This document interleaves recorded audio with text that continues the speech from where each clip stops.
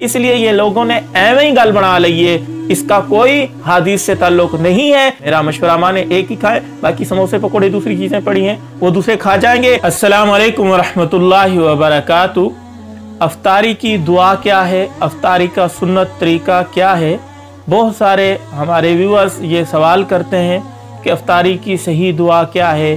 सुन्नत के मुताबिक हम अफतारी कैसे करें? तो आज की इस वीडियो में इंशाल्लाह बहुत ही मुख्तसर सी वीडियो है। इतनी तवील नहीं है। आप मुकम्मल देखें इंशाल्लाह फ़ायदा होगा। देखें, अफ्तारी के बारे में अहादीस में आता है। नबी अलैहिस्सलाम ने फरमाया कि अफ्तारी के वक़्त दुआ कबूल होती है।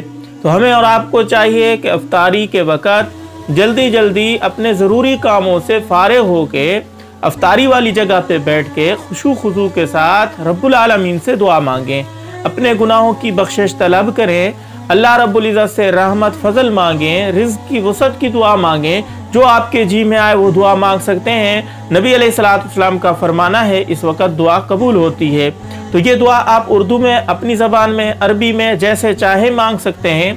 हाथ उठा के भी मांग सकते हैं, बगैर हाथ उठाए भी मांग सकते हैं। दूसरी बात यह है कि जो अफ्तारी के वक़्त एक ख़ास दुआ पढ़ी जाती है, वो मुख्तसर सी हमें बताई जाए जो हो भी मुख्तसर और हो भी आसान, हमें जल्दी से याद हो जाए। क्योंकि हदीस से देखें, बहुत सारी दुआएँ मिलती हैं तो बहुत सारे व्यूवर्स ये पूछ रहे हैं कि जो मुख्तसर दुआ है, जाम माने और सही हदीस से साबित है, वो हमें बताई जाए। तो बहुत सारी दुआएँ हैं, उनमें से मैं जो समझता हूँ, ये मुख्तसर भी है और सही हदीस से साबित भी है। आप ये दुआ याद कर लें और ये दुआ पढ़ लिया करें। अल्लाहुम्मा लकसुम वाला रिजकी का अफ्तर तू अल्लाहुम्मा लकसुम तू ए अल्लाह, तेरे लिए मैंने रोज़ा रखा। व अला रिजकी का अफ्तर तू और तेरे ही दिए हुए रिज से मैंने अफ्तार किया। तो ये कितनी जाम माने और बड़ी ही मुख्तसर दुआ, जो याद करने के लिए भी आसान, पढ़ने के लिए भी आसान है, और ये सही हदीस से साबित है। ये दुआ पढ़नी कब है? अफतारी शुरू करने से पहले भी आप पढ़ सकते हैं, अफतारी कर लेने के बाद भी आप पढ़ सकते हैं। लेकिन बेहतर और अफजल ये है कि अफतारी शुरू करने से पहले ये दुआ पढ़ ली जाए।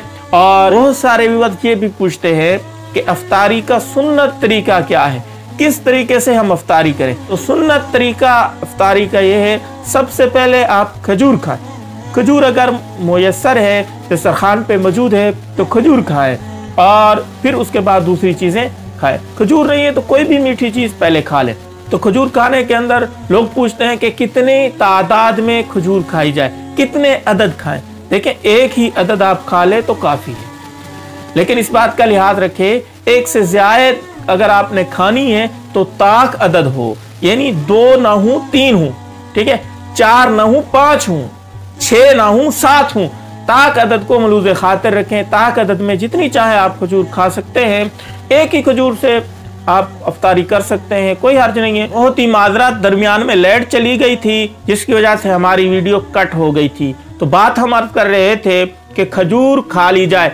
ताक अदद में खा ली जाए, ये सुन्नत तरीका है। अगर खजूर नहीं है तो पानी तो है ना। पानी से आप इब्तदा कर लें, अफतारी की बाद के अंदर दूसरी चीज़ें खाना शुरू कर दें। कई लोगों से ये भी सुनने में आया है कि अफतारी के वक़्त नमक से इफ्तारी की इब्तदा करना ये सुन्नत है। जबकि ये किसी हदीस से सही साबित नहीं है कि नबी सलाम ने अफ्तारी के वक़्त नमक का इस्तेमाल किया हो, नमक से इब्तदा की हो। खजूर का तस्करा मिलता है, पानी का मिलता है, नमक का नहीं मिलता, इसलिए ये लोगों ने एवं ही गल बना ली है। इसका कोई हादिस से ताल्लुक नहीं है कि नमक के साथ इफ्तारी की जाए। नमक का ढीला हो, इतना बड़ा रोड़ा हो, कुछ कहते हैं लोग।